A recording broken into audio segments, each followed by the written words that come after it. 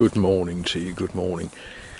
Today, 3rd of December 2022, it's a Saturday, and yeah, it's not warm, and that sort of dictates the start of the day. You know, I lit the fire at 5 o'clock this morning.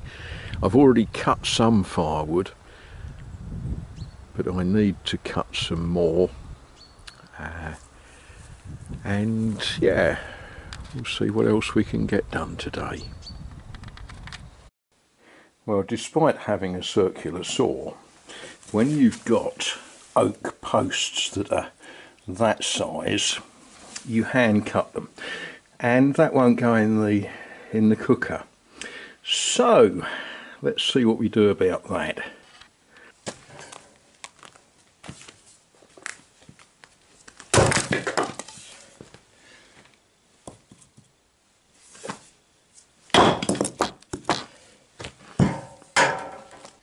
Yeah, with the with the general sort of weather, uh, the plan for today is to find all the things that I started and haven't finished. You know, there's painting still got to be done up there, and yeah, pick them off one at a time. So it's not going to make for anything particularly interesting, but you know, it's all got to be done. So that that is the plan today to do lots of little bits and yeah, keep myself busy.